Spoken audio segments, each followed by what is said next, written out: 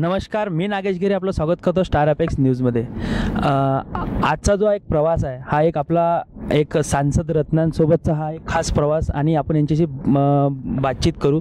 आपल्यासोबत निश्चित सांसद रत्न म्हटल्यानंतर महाराष्ट्राचे एकमेव सांसद रत्न आहे श्री राजूजी सातवसाहेब आणि यांच्यासोबत आपण जाणून घेऊया आजच्या म्हणजे आजची जे रा राजकारणाची स्थिती आहे काँग्रेसमध्ये आणि याच्यानंतर महाअधिवेशन आत्ताच नुकताच पार पडले. राहुल राहुल गांधी यांना अध्यक्ष म्हणून एक नवीन एक यांची भूमिका जी आहे ती एक काय स्पष्ट होईल याच्यामध्ये सर्व गोष्टीमध्ये? आणि दोन हजार एकोणीसचे जे आता हालचाली चालू झाल्या दिल्लीमध्ये तर आपण थेट जाऊया सातू साहेबांसोबत. साहेब नमस्कार. आपलं. स्वागत आहे अ, स्टार अपेक्स न्यूजमध्ये सध्याची जी एक काँग्रेसची स्थिती आहे आणि आता जस्ट दिल्लीमध्ये महाअधिवेशन झालं तर या सर्वामधून जे एक नवीन ऊर्जा जे चेंजेसचा जो एक नारा राहुलजींनी दिला आहे तर आपण याच्याबद्दल काय मत मानू शकता? आपण बघा की काँग्रेसचं हे अधिवेशन हे अनेक अर्थानं अभूतपूर्व असं अधिवेशन ठरलं. ज्या पद्धतीनं कार्यकर्त्यांमध्ये एक नवीन ऊर्जा या का या अधिवेशनामुळे झाली ही अभूतपूर्व अशी होती. राहुल गांधी या काँग्रेस पक्षाचे अध्यक्ष म्हणून त्यांनी जबाबदारी घेतली. आणि ही जबाबदारी घेत असताना संपूर्ण देशातल्या काँग्रेस नेत्यांनी काँग्रेस कार्यकर्त्यांनी एकमुखानं राहुलजींसोबत संघर्ष करण्याचा निर्णय या निमित्तानं घेतला आहे ही माझ्या दृष्टीनं अत्यंत महत्त्वाची गोष्ट आहे. जो संकल्प राहुल गांधी यांनी या अधिवेशनात व्यक्त केला तो संकल्प हा होता की नेता आणि कार्यकर्ता यांच्यामध्ये जी अदृश्य अशी भिंत तयार झालेली आहे की नेत्यांचा जमिनीवर अनेक ठिकाणी संपर्क नाही आहे. नेते कार्यकर्त्यांसोबत ज्या पद्धतीनं ते एक वा एक चांगलं वातावरण आणि चांगलं रिलेशनशिप पाहिजे ते नाही आहे त्याच्यात काम करायचा निर्णय राहुल जगंदेंनी घेतलेला आहे. आणि मुख्यतः हा जो मोदी सरकारचं चार वर्षातलं काम आहे या चार वर्षात एकही लोकांच्या हिताचा निर्णय या सरकारनं घेतला नाही. प्रत्येक वेळी मोठ्या मोठ्या उद्योगपतींना मदत करणं ही यांची भूमिका राहिली. तरुणांना आज रोजगार नाही. नोटबंदीमुळे जे होते ते सुद्धा रोजगार बंद पडले.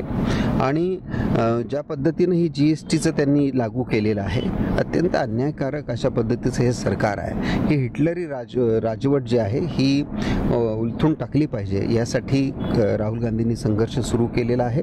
आणि जो तरुण मित्र आहे जो पक्षामध्ये नाही आहे परंतु त्याला काही वेगळा बदल करायचा आहे अशी त्याला वाटत असेल तर निश्चितपणानं काँग्रेस हा एक बदल बदललेला आणि नवीन पिढीशी अत्यंत ताकदीनं नवीन पिढीला सामावून घेण्याचा प्रयत्न करणारा असा पक्ष म्हणून आता त्याच्याकडे आपण पाहायला लागलेलो आहोत. अ, राहुलजींनी आपल्या संबोधनातून एक बोलले होते की मला पूर्वीचा जो काँग्रेस आहे जो पुराणा जुना काँग्रेस आहे तो काँग्रेस पुन्हा एकदा नव्याने नवी रूपे आणायचा आहे. तर याच्यामध्ये आता आपली काय पुढची वाटचाल राहील काँग्रेसची दोन हजार एकोणीस इलेक्शन घ्या.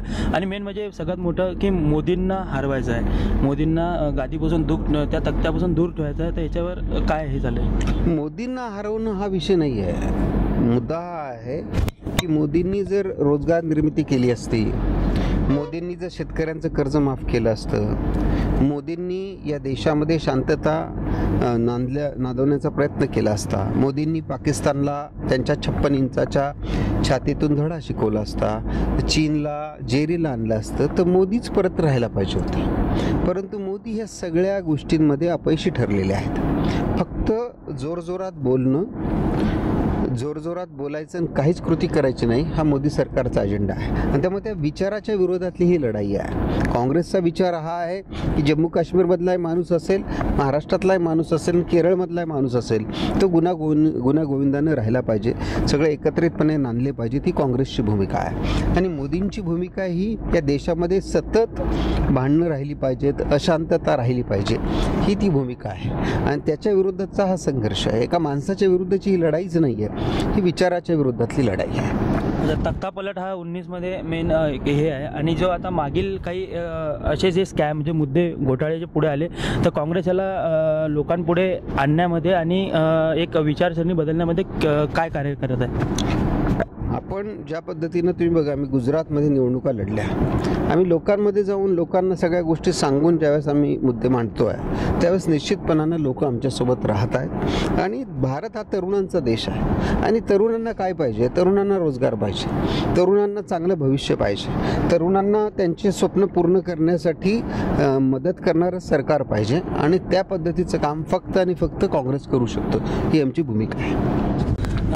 सर एक आता एक शेवटचा प्रश्न माझा असा राहील की दोन हजार एकोणीससाठी आपली काय कार्यप्रणाली नवीन आणि आता जे राहुलजींनी सर्वांना एक नवीन जबाबदारी देण्याचे एक हे हाती घेतलं आहे त्यामध्ये काँग्रेस आता युवांना कुठ कुठपर्यंत कितपत हे करणार आहे? उन्नीस एकोणीसच्या निवडणुकीच्या नेते सर आपण बघा की गुजरातचे निकाल लागल्यावर गुजरातचा विरोधी पक्षनेता हा एक्केचाळीस वर्षाचा तरुण राहुल गांधींनी नेमलेला आहे. त्याचं कारण असं की कष्ट करणारे जमिनीवर असणारे कार्यकर्ते यांना संधी मिळाली पाहिजे. ही राहुल गांधींची भूमिका आहे. आणि त्याच भूमिकेवर आता हे सगळं काम सुरू आहे. आणि निश्चितपणानं तरुणांना संधी देणं आणि त्याचबरोबर जे वरिष्ठ मंडळी आहेत त्यांचं मार्गदर्शन त्यांचा सल्ला हा घेतला पाहिजे असं एकंदरीत काँग्रेसचं सूत्र राहील. आणि सगळ्यात महत्त्वाचा विषय की काँग्रेस जर ताकदीनं पुढं आली तरच हा देश पुढं जाणार आहे. नाहीतर येणाऱ्या काळात पाकिस्तान असेल चीन असेल हे सगळे आजूबाजूची परराष्ट्र जी बाजूची राष्ट्र आहेत ती फार अत्यंत ताकदीनं येणाऱ्या काळात उभी राहतील आणि त्यामुळं काँग्रेसच या सगळ्यांना खऱ्या अर्थानं खऱ्या अर्थानं त्यांच्या विरुद्ध आपले परराष्ट्र नीती असेल तरुणांच्या रोजगाराची भूमिका असेल हे ताकदीनं करू शकते असा आम्हाला विश्वास आहे. धन्यवाद सर आपण आपली एक महत्त्वाचा वेळ देऊन आणि ही बातचीत इथे आमचा हा प्रवास खास करण्याबद्दल आपले मनपूर्वक धन्यवाद. आपण साहेबांसोबत बसून एक जे पूर्ण दोन हजार एकोणावीस आणि आतापर्यंत दोन हजार चौदाचे जे चौदापासून आतापर्यंत जे आढावा होता तो एका शॉर्ट याच्यामध्ये घेतला आहे अधिक माहितीसाठी बघत राहा स्टार अपेक्स न्यूज. धन्यवाद.